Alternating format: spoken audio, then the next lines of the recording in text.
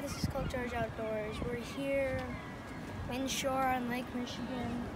We were going salmon fishing, and I just saw this um, bullhead swimming around in this canal here, and I just flipped this um,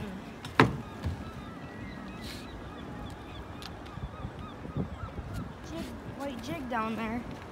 He ate it, and I think we're going to keep it.